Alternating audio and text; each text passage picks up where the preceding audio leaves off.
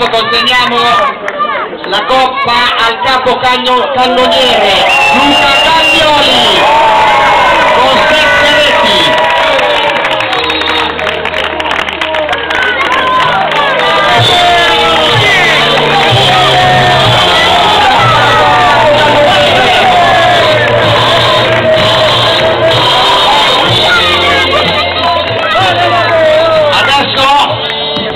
Adesso consegniamo l'ultima coppa per il giocatore meno giovane, inossidabile Duracell Angelo Simoncelli.